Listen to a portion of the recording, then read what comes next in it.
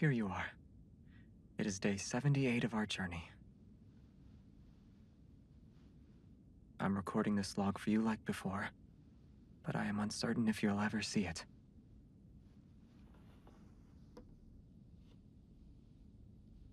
I spy the brightest star in the distance.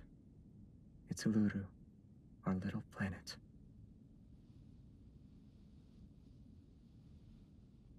I remember that day in Starfall Forest when I said I wanted to take you there. I haven't forgotten, but fulfilling my promise might take a bit longer.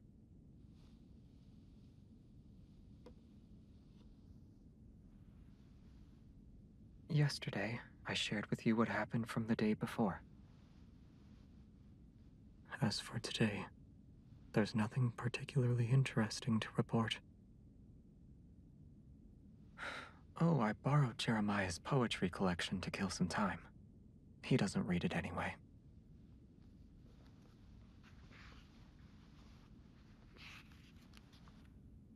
I found an interesting poem. Do you want to listen to it? I won't be able to hear your response, so I assume it's a yes.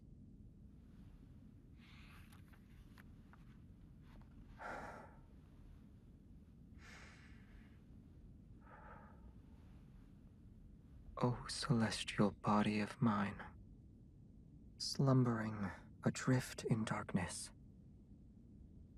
which never heeds the whispers of life, till it fades into oblivion, nothingness. If I make a mistake, you can't mock me. A shining little spark I yearn to be illuminating yonder the cosmos. Never does it reveal the true path, till drops saturate the stardust veil. As such, guide me, O radiance, to dispel the mists. Guide me, O laments to seek distant echoes.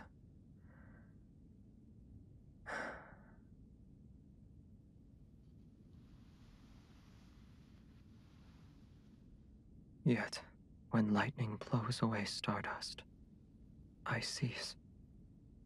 Forgotten dreams rush before my eyes. O celestial body of mine, slumbering adrift the darkness.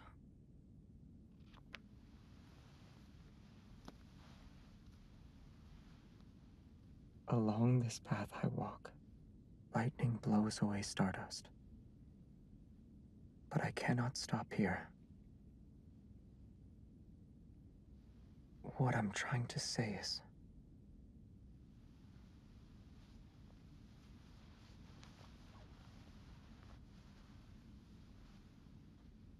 I miss you. I'll talk to you again tomorrow.